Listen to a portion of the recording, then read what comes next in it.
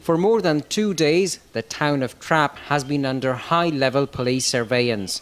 This suburban town near the French capital Paris has seen unprecedented violence with clashes between police and young protesters for three days.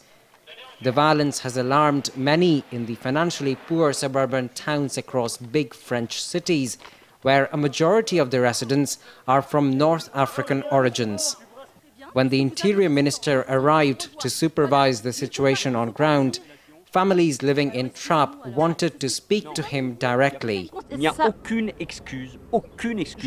There is no excuse, absolutely no reason to question the legitimacy of the mayor or the police, which has been doing its duty. Riots began after a 21 year old resident of Trappes reportedly hit a policeman. The man was arrested. Meanwhile, his wife claims she was attacked by the policeman in the first place and her burqa was pulled away. Residents say they are as tired of police violence as they are of the lack of jobs. We have neighborhoods where unemployment among the youth can cross 40%.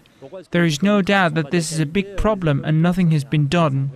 We condemn the violence carried out by the youth, but to be honest, the only thing we get is the show we saw with the Interior Minister, which will change nothing at all. Pourquoi ces jeunes ils sont en colère Pourquoi ils viennent manifester devant le commissariat Why are the young people angry?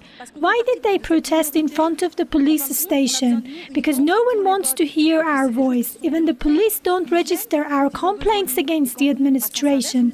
The mayor is never accessible, his assistant neither. The only time they speak to us is when they want our votes. Euh, avec l'administration Residents in Trappes say all kinds of confrontations between the police and the youth must come to a full stop. They also say that confidence and dialogue has to be re-established between elected representatives and residents. How quickly that will happen remains to be seen. Anistra Proy, Press TV in Trappes near Paris.